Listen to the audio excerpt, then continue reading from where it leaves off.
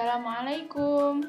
Perkenalkan, nama saya Nilna Kurota Ayun Arista dari jurusan Pendidikan Guru Pendidikan Anak Usia Dini Universitas Negeri Surabaya dari kelas 2019B NIM 19010684057. Nah, di sini saya akan mereview salah satu buku cerita untuk anak usia dini yang berjudul While We Can Hug. Buku cerita ini ditulis oleh Eoin McLaughlin dan Polly Dunbar. Isi buku cerita ini adalah While We Can Hug. Sementara kita tidak bisa berpelukan untuk semua anak yang tidak bisa memeluk orang yang mereka sayangi secara langsung. While we can hug, sementara kita tidak bisa berpelukan oleh Eoin McLaughlin dan Polly Dunbar. Landak dan kura-kura adalah sahabat sejati. Mereka ingin saling berpelukan erat tetapi mereka tidak diizinkan untuk menyentuh. Lalu datang seekor burung hantu.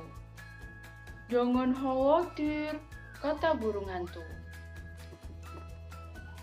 Ada banyak cara untuk menunjukkan kepada seseorang bahwa kamu menyayangi mereka. Landak mencoba melambai-lambai, lalu membuat kura-kura tersenyum. Kura-kura membuat wajah lucu yang membuat Landak tertawa. Hihihihi. Landak menulis surat dan kura-kura membalasnya. Dan kura-kura menari, Landak ikut bergabung.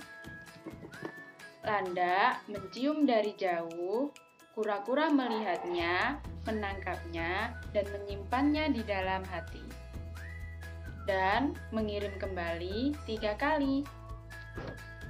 Kura-kura menyanyi, la la la la. Landa ikut bermain musik, jreng jreng jreng, la la la la, jreng jreng jreng.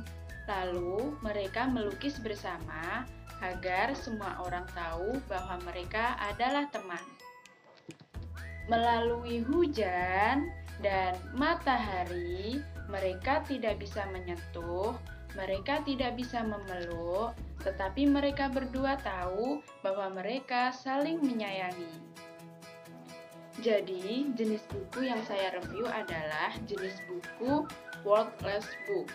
Wordless Book adalah buku cerita bergambar yang dirancang tanpa ada kata-kata atau dengan sedikit kata sehingga pembaca atau anak bisa merespon maksud cerita dalam buku melalui gambar.